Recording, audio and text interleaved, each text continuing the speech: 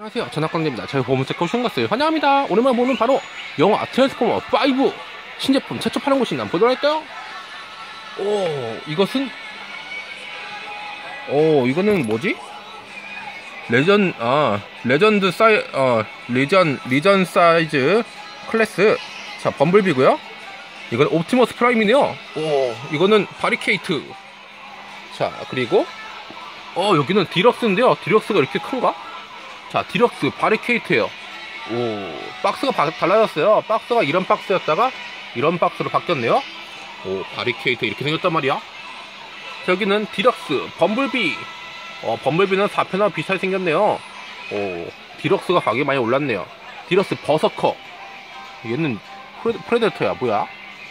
오 어 이거는 deluxe premier edition. 옵티머스 프라임이요. 오, deluxe voyager 아닌가? 이건 디럭스 스틸베인. 아, 이거 메가트론. 메가트론. 메가트론 구하기 힘들다던데. 자, 여기는 디럭스 스틸베인. 기사인가요? 자, 디럭스 드리프트. 자, 그리고 어, 스틸베인과 다이노봇 슬러그. 자, 슬러그가 있고요. 어, 뭐야? 옵티머스 프라임. 아, 아시아? 리더, 어, 아, 이거구나. 아시아. 오, 옵티머스 프라임인데 엄청 시커멓습니다.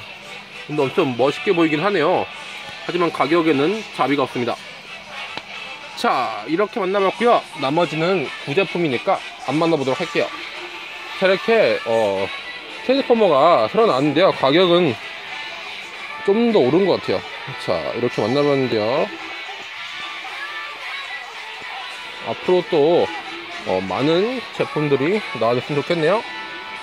자 여기까지 감사합니다. 여러분 다음에 또 만나요. 빠이빠이 빠이빠이